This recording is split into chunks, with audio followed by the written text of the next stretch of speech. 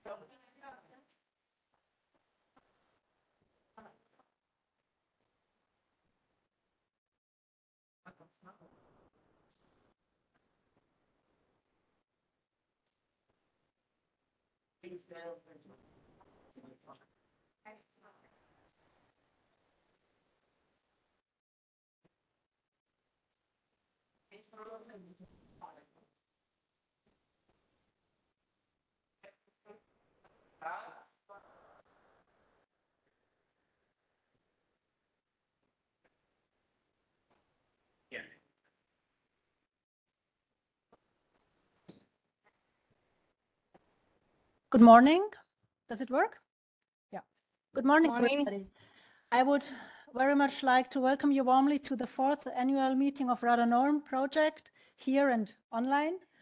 Um, my name is Christiane Pölzl-Viol. I am head of the unit National International Cooperation, Scientific Coordination and Social Aspects of Radiation. And as you might know, I took over this role from Ulrike Kulka in February. And um, with her change um, within BFS, with the change of position, we had also a change in the RadoNorm coordination. And I would first very much like to thank or express my thanks to Ulrike for her work as a RadoNorm coordinator until February. And I would very much like to welcome Warren. You all know him already and you know that he's the coordinator now, but I would very much like to welcome Warren as a RadoNorm coordinator today. And um, with this, I would like to give the floor to him.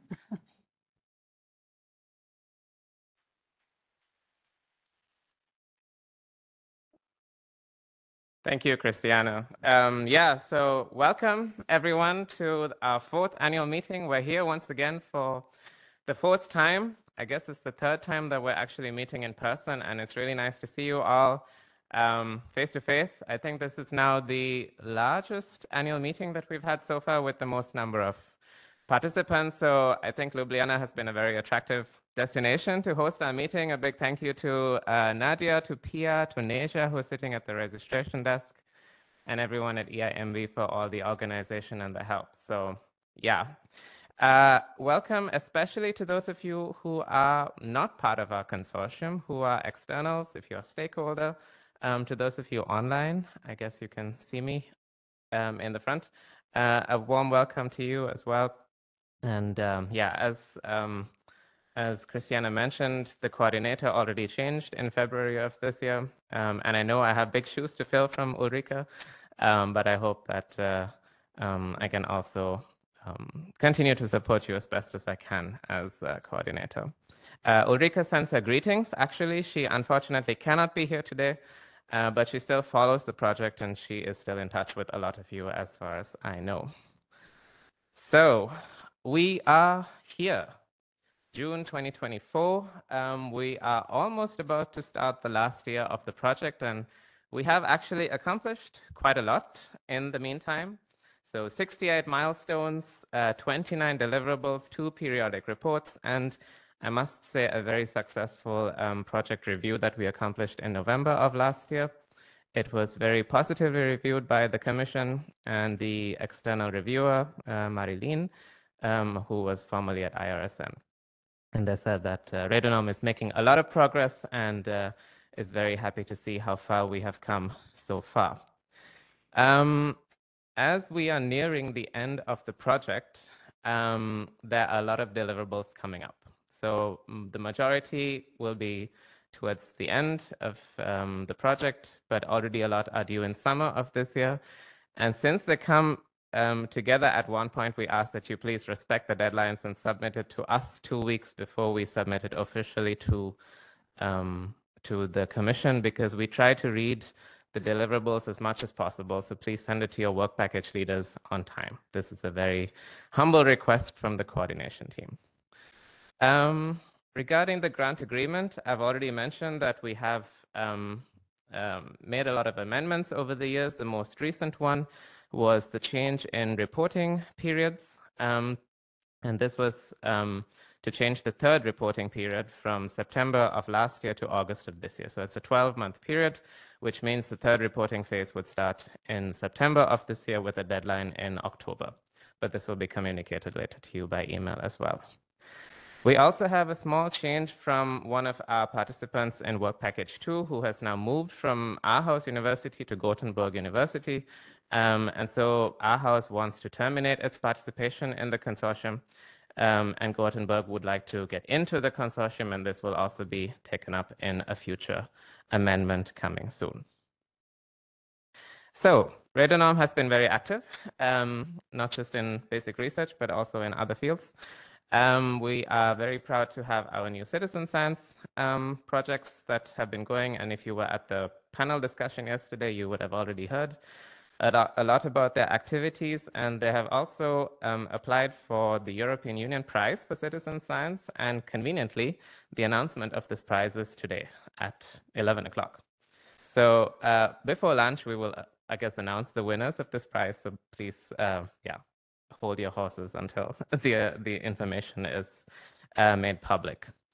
Uh, we also started a new um, research seminar series because we have a lot of deliverables coming out and a lot of um, publications. And this is basically to give you the opportunity to also talk about your results a bit more frequently rather than having to cram everything into an annual meeting once a year. Um, so if you have something that you would like to present or discuss to get out into the public, um, we encourage you to use these opportunities. So you can always get in touch with me or with Nadia, um, and then we will try to slot you in. Um, I would also like to report we had a very nice um, group meeting with some representatives from industry at the last Radiation Protection Week um, in Dublin uh, where they were discussing the topic of radon monitors. And this is really uh, very interesting to see where we can talk about our intercomparison results and then get discussions going with members of the industry and try to find a way forward to improving systems there as well. Um, exactly. And then I would like to switch gears a bit and give you a bit of update from work package seven. Um, so we have managed to fund 100 travel grants so far in the last 14 calls. As you can see, um, the one in 2024 was the most popular one. Um, and so we also continue to encourage our early career researchers to apply for these travel grants as much as possible, make use of them. The next deadline will be um, at the end of this month. We also introduced um, a new type of travel grant called the Research Stay Travel Grant um, because we noticed that um, there are some ECRs that go on um, longer exchange visits and the 1,000 euro limit is usually not enough. So this travel grant eliminates the, the budget limit, but we still ask that you also keep the costs justifiable. Um, and uh, this is also an opportunity for you to, um, to make use of these funds for long-term exchange visits and um, yeah, such travels. Uh, we have also funded 19 courses over the last four calls. These are some of the pictures from the more recent courses. Um, and um, we hope to have a final call for courses, which uh, which will be announced soon with a deadline in September of this year. So it's a bit earlier than usual. Um, there are still funds for these courses, and we highly encourage you to apply for them. Um, and if you have an interesting idea, please just send us an application and just um, um, send us your ideas, and we will try to accommodate them as much as we can. I would also just like to mention regarding the courses that we had initially a budget of 700,000 euros, of which we used up 300,000, which means there's still 400,000 remaining. This has now been divided up. Uh, we had a meeting with the executive board in order to see how we can do this. Um, and 150,000 will go into the next call for courses. And we also want to give 100,000 to support uh, publications with at least one ECR member as a co-author. So it still stays within the framework of um, education and training activities. And then um, 150,000 going into the research stay travel grant. So this is basically how it's divided up for the moment, and we're going to see how it goes over the next few months. Then switching gears again to work package eight, um, coming to dissemination activities. So we've we've come out with about 38 publications. This is actually a number from a few weeks ago, so there have been some new publications since then. Um, but it's interesting to see that um, uh, there are still more papers coming out. The impact factor is even rising. Um, and we're happy to see that all your results are coming out. And we know that there are also already several publications or manuscripts in the pipeline and about to come out soon. We are also in the process of discussing a special issue for Radonorm articles in one journal. Uh, we have not selected a journal yet. This is still being put together together with the executive board, and we will inform you as soon um, as we have some information. Uh, we hope that this would ideally run from September, October of this year until the end of the project. So this would also be an, a good opportunity for you to publish. Uh, we've also managed to release, uh, release 52 news articles since September of last year. We've had six editions of the newsletter come out. Um, and speaking of news articles, this is also an appeal. If you have some news, if you were at a conference or participating somewhere where you were talking about Radonorm activities, please just send us a small text that we can post on social media and on our website. And uh, we've had uh, some new stakeholders um, join the project as well, and we've continued to participate in some meetings and conferences over the years. Of course, the bigger radiation protection uh, conferences, but also interestingly in um, other conferences where radiation protection is not the focus. Um, things that come to mind are the Lung Cancer Congress and also the um, some conferences on indoor air or clean air. So it's really encouraging to see that uh, we are poking our nose into other conferences as well and trying to get our results out as much as possible. If you have participated in a conference or a course or something where you have talked about Radonorm results, we also ask that you inform us as the coordinator or your work package leaders because we have to update what is called the monitoring table on the website um, since these results feed into the next periodic report. And so please just get in touch with, um, with your work package leader uh, for more information. The next big conference coming up is, of course, the Radiation Protection Week. This will most likely be our last radiation protection week as, as the Radonorm Consortium. And so um, we've managed to get um, a special session dedicated to radon and norm. Uh, big thank you to those who sit on the scientific committee who managed to put this together. Um, and I hope to see a lot of you also at this conference um, presenting your results. So, um, what are we doing this year at this meeting? You would have already seen um, this diagram here, which presents the um, the um, work packages in Radonorm. And in the middle of this diagram, I'm going to try to, yeah. In the middle of this diagram, you see recommendations and implement, implementation. And so we, as a project, recognize it's not just about basic research, but we try to make sure that our research is also translated into recommendations and applications that come out of them. And so this is the goal from this year's um, meeting to see how translatable our results are actually. Um, of course, fundamentals are important. We need to deal with them. This is what basic science is about. We have to answer these questions that come up. Uh, but we also try to see that um, our, our results don't just hang in the scientific community, but that we try to um, get stakeholders um, and the public to also participate as much as we can.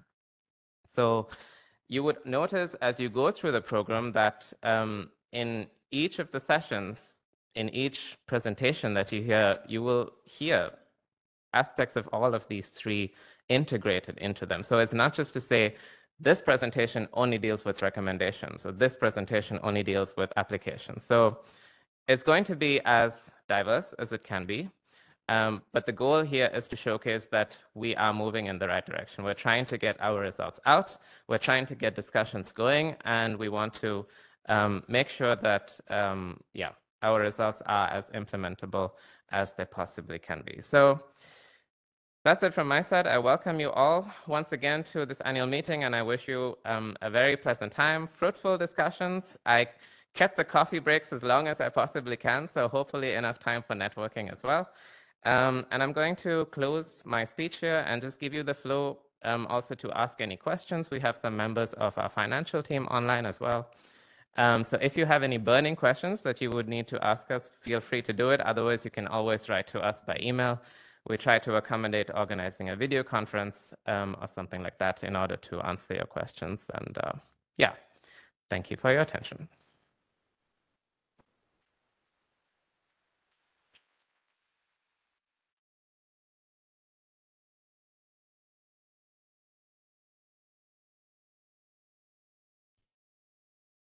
Any particular questions regarding administrative issues? online? No one online? Uh, no. Okay. Warren, Warren, Oh, yeah. it was- Francesco is online. Yes. Francesco is just, uh, uh, thank you very much for your comprehensive presentation. Just wanted to mention that regarding um, um, uh, publications, um, uh, in addition to the the the um, uh, special issue that you you mentioned uh, uh, that are, um, are going to be decided uh, for RadoNorm project, uh, there are also other, uh, let me say, special issues that could be used by um, uh, partners of RadoNorm project uh, to publish the paper, uh, including one uh, specific on radon, unfortunately, not on radon and uh, norm, but only on radon, uh, that uh, I and other five uh, uh, guest editors are um, uh, have started few uh, few days ago um, on uh, frontiers on public health and um, this uh, special issue is very broad in in in um, uh, objectives from